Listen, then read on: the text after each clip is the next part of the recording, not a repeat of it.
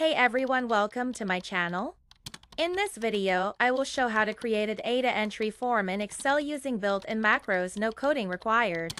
This method will help you enter data easily without typing it directly into your spreadsheet. Make sure to watch till the end and if you find this useful, don't forget to like, subscribe and hit the notification bell icon for more important Excel tips. First, let's set up our worksheet. Create two sheets, the first one for the data you want to collect and the second sheet for creating an entry form. Make sure the collecting sheet header and input form header are the same.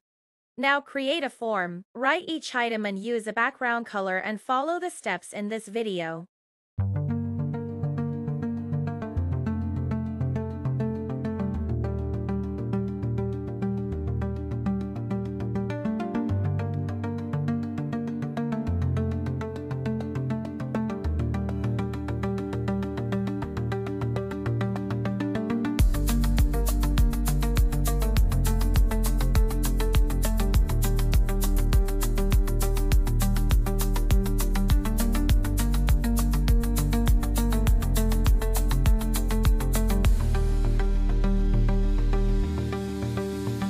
Insert here a box for the Submit button.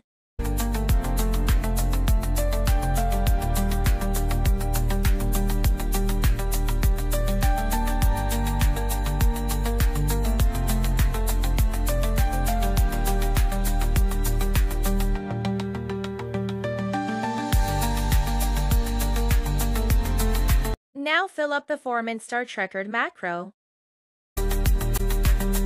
The macro name is Submit, then click on OK.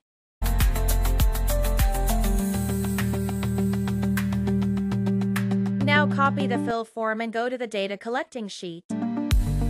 Put your cursor right end of the header like that on press Ctrl plus down arrow, then left arrow, then up arrow, then click on Use Relative References and put the cursor here that is A2 and click again on Use Relative References.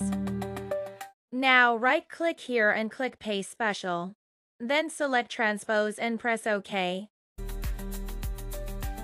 Now, clear the form and stop macro recording. After that right-click on the Submit button and click Assign Macro. Select Submit option and then OK. Now, click on the Submit button. That's all. Your form is ready. Test your work. Fill up the form and press the submit button. If you have any questions write in the comments section. Thanks for watching.